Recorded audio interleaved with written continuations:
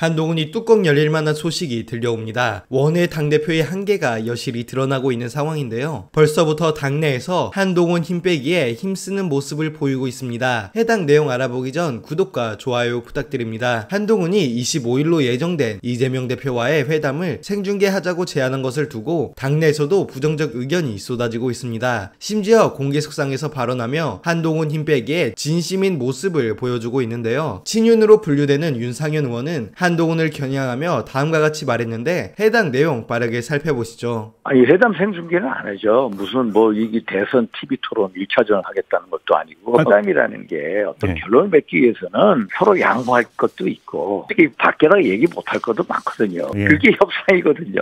아니 협상 어떻게 돼 상중계합니까? 이벤트처럼 회담이 돼서는 안 되는 거죠. 네, 재밌습니다. 이뿐만이 아닙니다. 김재원 국민의힘 최고위원은 한국방송 정격 시사에 출연해 어쨌든 당 대표자로 선출된 두 분이 만나는 첫 번째 자리다. 일종의 회담이고 일종의 정치적인 협상과 타협을 하는 자리인데 TV 토론을 생중계하듯이 하자고 하면 민주당이 받아들일 가능성이 맞지 않을 것 같다고 주장했습니다. 한동훈의 의견이 현실성이 떨어진다는 입장을 밝힌 것이죠. 앞으로 친윤 의원들은 윤석열에게 충성심을 보이기 위해 한동훈 힘 빼기에 진심인 모습을 보여줄 것이라 예상되는데 이와 관련된 영상 함께 시청하시죠. 한동훈 대표 입장에 서 제일 싫은 사람이 누구겠어요? 이재명 누군가요? 대표겠어요?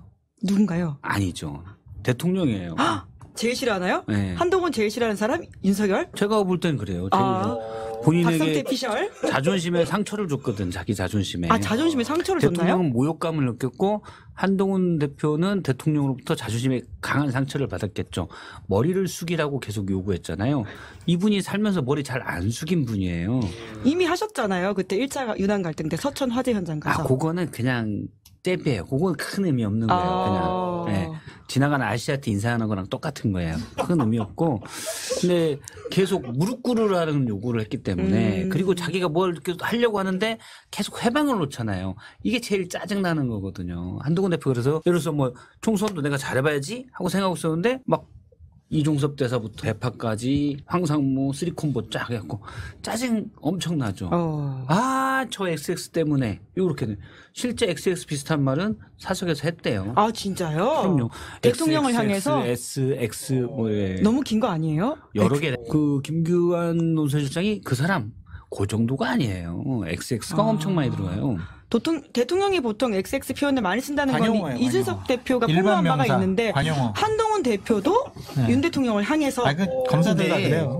네, 앞으로 여당 내부 갈등은 점차 심각해질 것으로 보입니다. 이어서 민주당은 이번 25일 대표 회담을 기다리고 있다는 소식이 들려오고 있습니다. 여당은 내부 갈등으로 인해 흔들리지만 민주당은 웃고 있는 상황이죠. 이와 관련된 내용 빠르게 살펴보시죠. 대표 측의 입장에서는 예. 한동훈 바보 만들기 대표회담이다. 영수회담을 가기 위한 징검다리로 대표회담을 받아들인 것이다. 한동훈 대표가 당의 정책 결정권, 자기 결정권이 없구나. 그런 것을 이번 당대표 회담을 통해서 보여주고 싶어 할 것 같 아요. 내 상대는 한동훈이 아니야.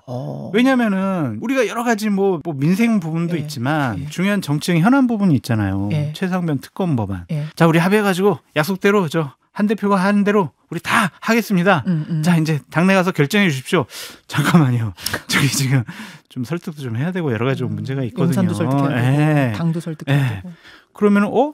아니 대표가 그런 거 약속도 했는데 결정을 못 해요? 그럼 이거는요. 이거는요. 그러면은 잠깐만요. 좀 당에 가서 좀 우리 의총도 열어보고 좀 논의해 볼게요. 이렇게 할 수밖에 없는 상황이에요. 어. 아니면은 한동훈 대표가 할 수 있는 일은 예. 의총을 먼저 엽니다. 우리 여야 회담하니까 나에게 정권을 달라. 그렇게 해가지고 정권을 갖고 음. 용산도 설득을 하고 의원들도 설득해가지고 딱 들어가면 되는데 안 될 거라고 보세요? 지금 윤핵관들은 아휴 봐라 해봐라 뭐 되나 보자 네. 이런 분위기예요 지금 한동훈 대표에게는 대단히 위험한 어. 그러한 당 대표 회담이 되지 않을까라는 생각이 듭니다.